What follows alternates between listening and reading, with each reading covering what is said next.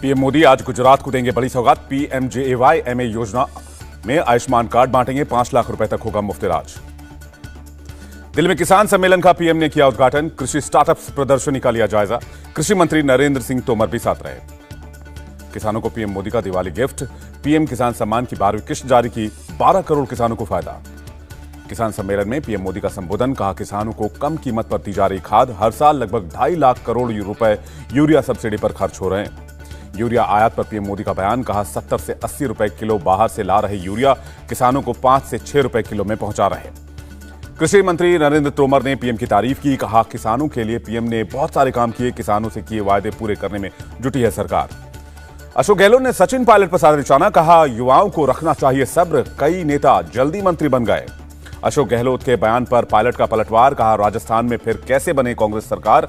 इसका भी सभी को प्रयास करना चाहिए गहलोत के बयान पर पायलट समर्थक मंत्री राजेंद्र गुढ़ा का बयान कहा राजस्थान में नेतृत्व परिवर्तन होने जा रहा है राष्ट्रीय अध्यक्ष बनने के बाद पायलट बनेंगे सीएम कांग्रेस अध्यक्ष पद के लिए मतदान खत्म कांग्रेस मुख्यालय में सोनिया गांधी ने डाला वोट राहुल गांधी ने पार्टी अध्यक्ष पद चुनाव के लिए की वोटिंग कर्नाटक के बेल्लारी में डाला अपना वोट प्रियंका गांधी भी सोनिया गांधी के साथ पहुंची 24 अकबर रोड कांग्रेस अध्यक्ष पद चुनाव में डाला वोट मल्लिकार्जुन खड़गे ने बेंगलुरु में डाला वोट मल्लिकार्जुन खड़गे का शशि थरूर से है मुकाबला वोटिंग के बीच थरूर का बड़ा बयान कहा पार्टी नेता आलकमान खड़गे के साथ थरूर ने माना कि चुनाव में खड़गे का पलड़ा भारी है कांग्रेस अध्यक्ष चुनाव पर बोले सलमान खुर्शीद कहा नए अध्यक्ष तय करेंगे पार्टी को कैसे आगे बढ़ाया जाए कांग्रेस चुनाव अथॉरिटी के चेयरमैन मधुसूदन मिश्र ने कहा बैलेट बॉक्स 18 अक्टूबर को दिल्ली पहुंचेंगे 19 अक्टूबर को होगी काउंटिंग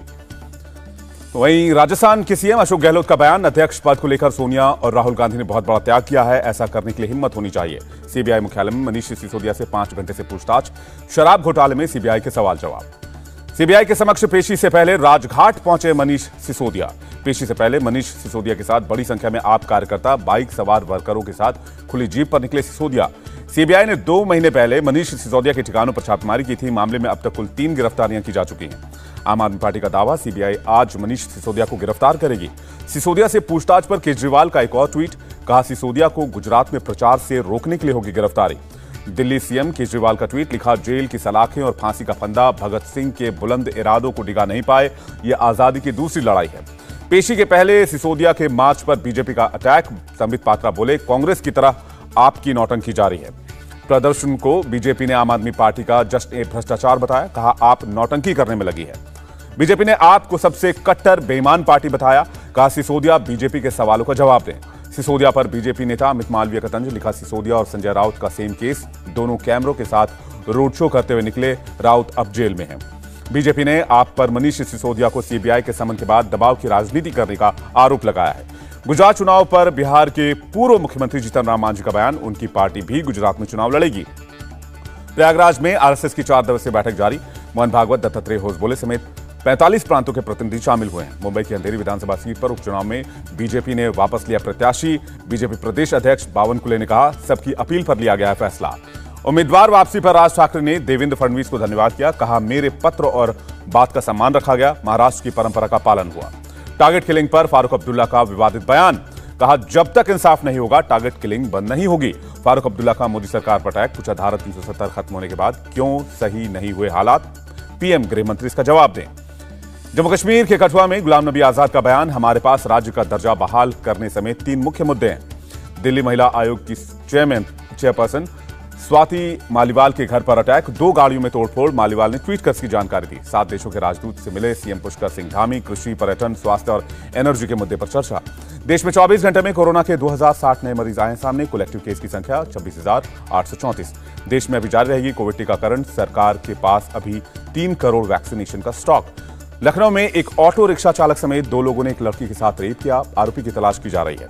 लखनऊ में लड़की से गैंगरेप के बाद डीसीपी ईस्ट का बयान कहा जल्द ही आरोपी की गिरफ्तारी होगी लापरवाही के लिए चौकी इंचार्ज को सस्पेंड किया गया है पंजाब के अमृतसर में बीएसएफ ने पाकिस्तानी ड्रोन मार गिराया दो किलो हेरोइन बरामद की है इंदौर में टीवी एक्ट्रेस वैशाली ठक्कर ने की खुदकुशी सुसाइड नोट से बड़ा खुलासा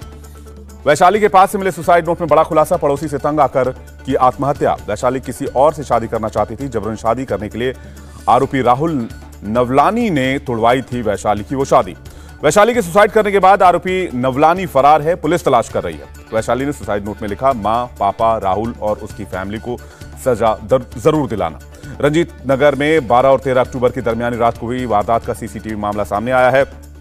नीतीश को इतना पीटा गया कि उसने अस्पताल में दम तोड़ दिया पुलिस ने सीसीटीवी के आधार पर तीन आरोपी की पहचान कर ली है जल्द ही इन्हें पकड़ने का दावा किया है हत्याकांड के बाद इलाके में तनाव है परिजनों और चश्मदीदों का आरोप नीतीश को टारगेट करके मारा गया एक समुदाय विशेष के लोगों ने प्लानिंग करके वारदात को अंजाम दिया दिल्ली पुलिस का अभी तक की जांच के आधार पर बयान किसी भी तरह के सांप्रदायिक एंगल से किया इनकार दिल्ली पुलिस के मुताबिक आरोपी मुस्लिम समुदाय से ताल्लुक रखते हैं मामले की जांच की जा रही है नीतीश की हत्या के बाद डिप्टी सीएम सिसोदिया ने एलजी को चिट्ठी लिखी कहा दिल्ली की कानून व्यवस्था बिगड़ती जा रही है पंजाब के मोहाली में बम्बीहा गैंग के दो हैंडलर्स को पुलिस ने पकड़ा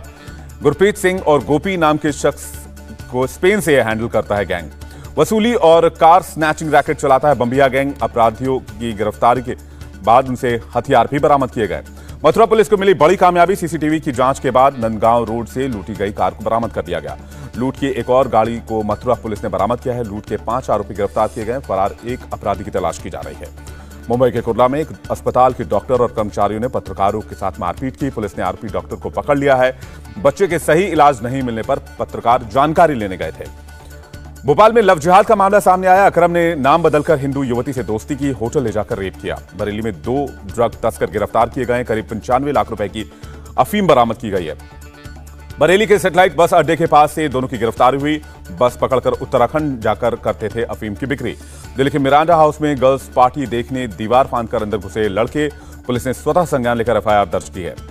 छत्तीसगढ़ के बिलासपुर में शराब के नशे में धुत कांग्रेस नेता ने चेकिंग के दौरान पुलिस को धमकी दी वीडियो वायरल हो गया है गाजियाबाद में अवैध तरीके से पटाखा रखने के आरोप में चौदह लोग हिरासत में लिए गए पुलिस पर भी हमले का आरोप है गोरखपुर में एक बाइक शोरूम में भीषण आग लग गई कड़े मशक्कत के बाद आग पर काबू पा लिया गया भोपाल में एमपी नगर में एक मुस्लिम युवक के खिलाफ केस दर्ज कराया गया है पहचान बदलकर हिंदू लड़की के साथ दुष्कर्म का आरोप लगाया नोएडा के सेक्टर 24 इलाके से एक युवक का शव मिला है पुलिस ने मामले की जांच शुरू कर दी है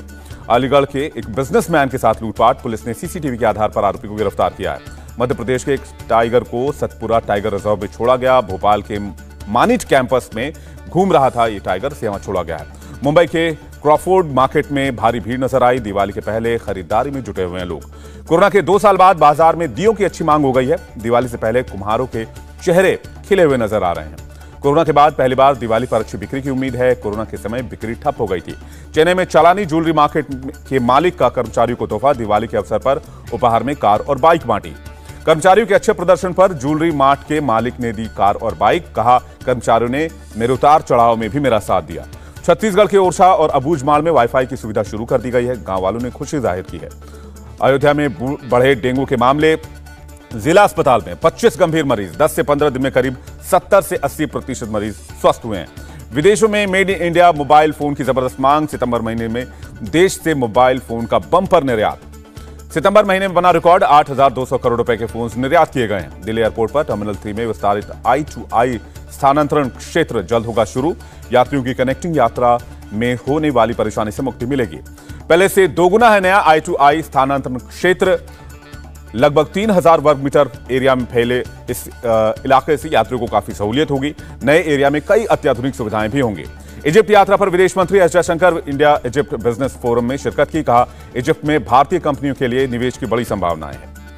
प्रेसिडेंट जेलेंस्की का बड़ा बयान कहा समुद्री रास्ते से लगभग 80 लाख टन खाद्य सामग्री निर्यात करने में सक्षम है यूक्रेन एक्सपोर्ट का 60 प्रतिशत अफ्रीका और एशिया भेजा मारुति ने एस्प्रेसो का नया सीएनजी मॉडल लॉन्च कर दिया है पांच लाख नब्बे हजार से शुरू होगी इसकी कीमत एचडीएफसी लिमिटेड का एचडीएफसी बैंक में मर्जर का रास्ता साफ एनसीएलटी ने शेयर होल्डर्स की मीटिंग को मंजूरी दी 40 अरब डॉलर का हो सकता है सौदा गंभीर आर्थिक संकट से उबरने के लिए श्रीलंका सरकार की आईएमएफ भारत और चीन के साथ बातचीत राष्ट्रपति रानिल सिंह ने बातचीत के सफल होने का भरोसा जताया है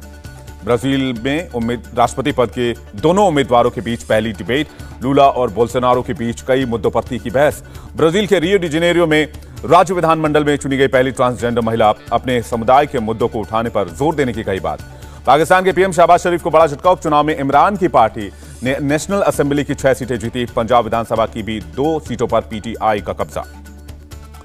सीपीसी की मीटिंग में ताइवान को लेकर राष्ट्रपति जिनपिंग ने कहा विदेशी दखल बर्दाश्त नहीं करेंगे जिनपिंग ने सीपीसी कांग्रेस में सेना को और ज्यादा ताकतवर बनाने का किया ऐलान शी जिनपिंग ने क्वाड का विरोध किया अमेरिका पर साधा निशाना अमेरिका में वेनेजुएला के प्रवासियों की बड़ी भीड़ रोक के बावजूद जंगलों के में यात्रा करके पहुंच रहे बॉर्डर अमेरिका ने चौबीस हजार परमिट देने का किया था ऐलान ईरान की एविन जेल में आग लगने से चार की मौत इकसठ लोग हुए घायल फ्रांस में बढ़ती महंगाई के खिलाफ सड़क पर उतरे लोग प्रेसिडेंट मैक्रो से कीमतों में कटौती की मांग प्रदर्शन में नोबेल विजेता लेखक भी शामिल हुए टी ट्वेंटी वर्ल्ड कप में एक और बड़ा उलटफेर स्कॉटलैंड ने वेस्टइंडीज को बयालीस रन से हरा दिया ऑस्ट्रेलिया के खिलाफ अभ्यास मैच में लय में दिखे मोहम्मद शमी नेट्स में प्रैक्टिस की दिनेश कार्तिक को किया क्लीन बोल्ड आईपीएल से पहले 15 नवंबर तक बीसीसीआई को सौंपनी होगी रिटर्न खिलाड़ियों की सूची दिसंबर में हो सकती है नीलामी एक्ट्रेस मानवा नाइक का खुलासा लिखा कैब ड्राइवर ने उनके साथ दुर्व्यवहार किया धमकी भी दी गाड़ी चलाते समय फोन पर बात करने से मना किया था परिणति चोपड़ा स्टार और फिल्म ऊंचाई का फर्स्ट लुक जारी कर दिया गया एक्ट्रेस ने अपने इंस्टाग्राम पर इसे रिवील किया है इंडिया टीवी हर वक्त हर जगह डाउनलोड करने के लिए सर्च करें India TV news Google Play Store या एप स्टोर पर